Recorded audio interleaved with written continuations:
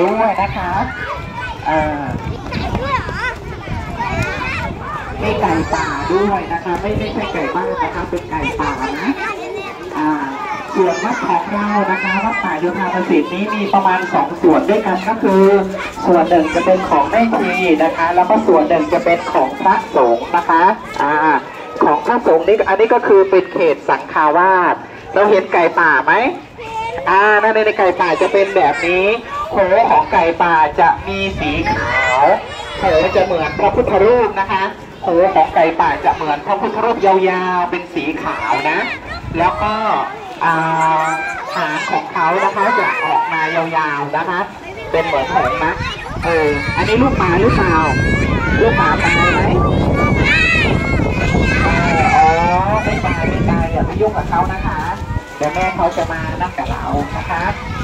เดินช้าๆลูกเดินช้าๆเดินข้างหลังพี่แรมลูก เดินข้างหลัง เดินข้างหลัง เด็กๆ ถอยมา ถอยใช่น่ารักค่ะอะถอยถอยไปข้างหลัง ไม่ได้ไม่ได้ให้เขากินนมอะถอยก่อน ถอยก่อน อ่ารอพี่พรามก่อนนะ ต้องเดินหลังคุณครูห้ามเดินแซงหน้าคุณครูเด็ดขาดนะ อันนี้ก็คือไก่ป่านะคะ ไก่ป่านี่จะออกมาจากป่าเขา จะออกมาจากป่าให้ลูกเสือเนาะ ค่ะ แล้วก็เขาจะไม่ผสมพันธุ์กับไก่บ้านนะคะ เขาจะอยู่ของเขาเองนะคะ ตอนเช้าเช้าเนี่ยเขาก็จะขันนะคะ ประมาณตีสามหนึ่งครั้ง แล้วก็ประมาณตีสี่ครึ่งหนึ่งครั้งนั่นเองนะคะ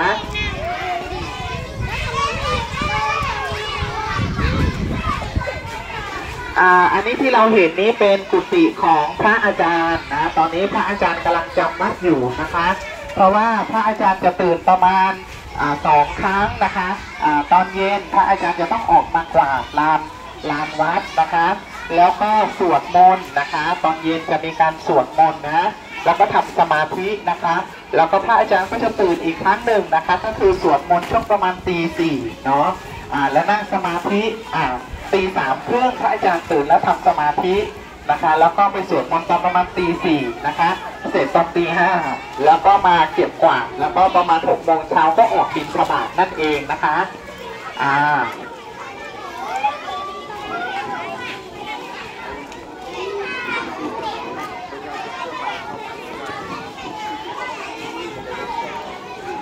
อันนี้เป็นกุฏิรับรองนะคะ เป็นกุฏิรับรองพระอคันตุกะนะที่มาเที่ยวนะคะ ที่มาเที่ยวแล้วก็ ต้องการเข้ามาพักนะคะ ก็จะมาพักที่นี่นะคะเป็นที่รับรองของพระอคันตุกะพระมหาเถระนะคะ ที่เดินทางมาจากทางไกลนะคะ ก็สามารถที่จะมาพักที่นี่ได้นะคะเนาะอันนี้เป็นกุฏิของพระอาจารย์หมดเลยนะคะเป็นที่อยู่ของพระสงฆ์ดังนั้น ผู้ชายเวลาโตขึ้นอายุประมาณ 20 ปี ก็จะบวชเป็นพระนะคะ ก็จะมาอยู่ในถ้าจะมาอยู่ที่นี่ก็จะอยู่เป็นกุฏิเป็นหลังเป็นหลังเห็นไหมคะ อ่า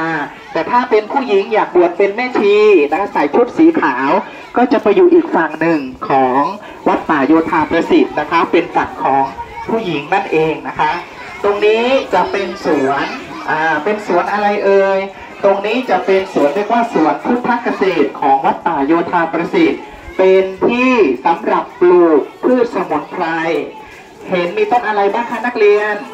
ต้นกล้วย ต้นมะละกอ ต้นมะม่วง ตะไคร้ ตะไคร้หอม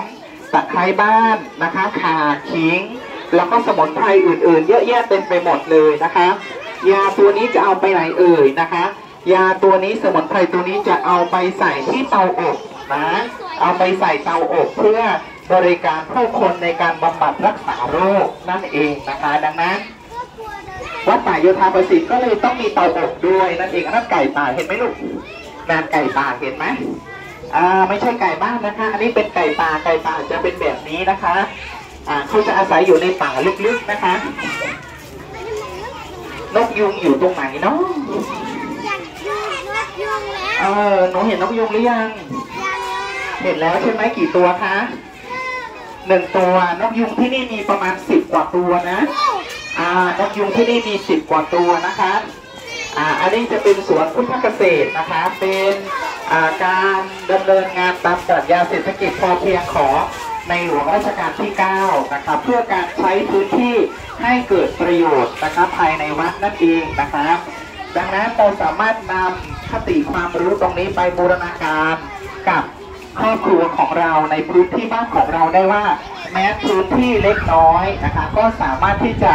บริหารนะคะจัดการให้กลายเป็นพื้นที่ธรรมชาติ ให้กลายเป็นพื้นที่นะคะที่มีสมุนไพรนะคะที่มีอาหาร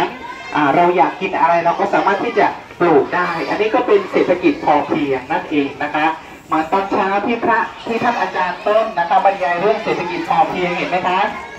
อ่าอยากกินอะไรก็ปลูกไอ้นั่นนะคะเป็นการลดทอนรายจ่ายเพิ่มรายได้ให้กับเราได้ด้วยนั่นเองนะคะ อันนี้สิ้นสุดแล้วนะคะ สิ้นสุดสวนพุทธเกษตรแล้ว อันนี้เป็นกุฏิหลวงพ่อนี่กุฏิหลวงพ่อเจ้าอาวาสอยู่ตรงนี้นะคะอ่าอันนี้ห้องน้ำมีบริการห้องน้ำทั้งหมดมีประมาณ 100 ห้องนะคะทั้งห้องอาบน้ำแล้วก็ห้องน้ำหญิงห้องน้ำชายแบ่งนะคะอ่าแบ่งเรียบร้อยเลยแล้วก็สะอาดมาก มีคนมาทำความสะอาดตลอดเลยนะคะอ่าอันนี้ก็จะเป็นสมุนไพร อันนี้ต้นอะไรเอ่ย ต้นมะขามมะขามหวานหรือมะขามเปรี้ยวคะหวานหรือเปรี้ยวเอ่ยอ่าอันนี้เป็นมะขามเปรี้ยวนะคะ เป็นมะขามเปรี้ยวอ่าอ่าจุดต่อมานะคะ